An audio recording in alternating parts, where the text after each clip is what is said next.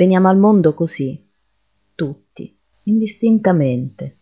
La scena può impressionare, potete scegliere di non continuare.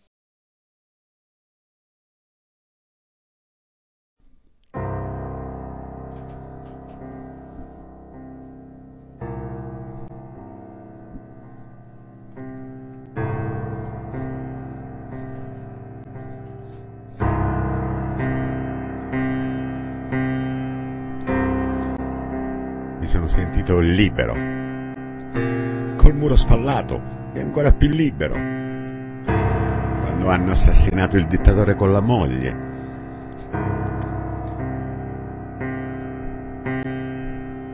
Liberissimo protestando davanti a carri armati, sicuro di mille ragioni di tanta libertà.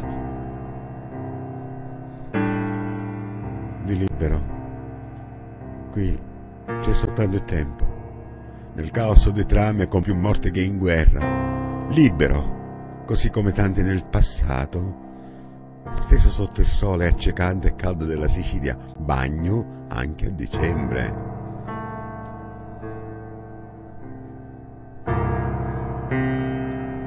Libero, grassi, con strade che portano il mio nome. Se però, come spesso accade, vince il nemico. È possibile mi buttino giù con tutte quelle lapidi e le targhe.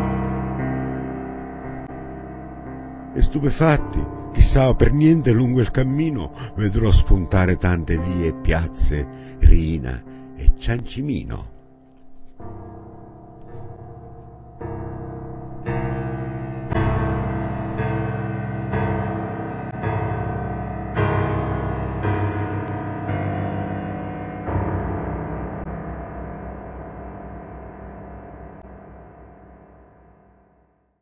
Allora, intanto uno non deve mettere i fiorellini alla finestra della cella della quale è prigioniero, perché se no, anche se un giorno la porta sarà aperta, lui non vorrà uscire. Deve sempre pensare con una coscienza perfetta, questi stanno rubandomi la vita, in cambio di due milioni e mezzo al mese, bene che vada mentre io sono un capolavoro il cui valore è inenarrabile. Non capisco perché un quadro di Van Gogh debba valere 77 miliardi e un essere umano 2 milioni e mezzo al mese, bene che vada. Sì, vabbè, ma ormai è irreversibile la situazione. Sì, tu fai giustamente un discorso in difesa di chi ti opprime perché è il tipico dello schiavo, no? Il vero schiavo, lo schiavo difende il padrone, mica lo combatte perché lo schiavo non è tanto quello che ha la catena al piede, quanto quello che non è più capace di immaginarsi la libertà.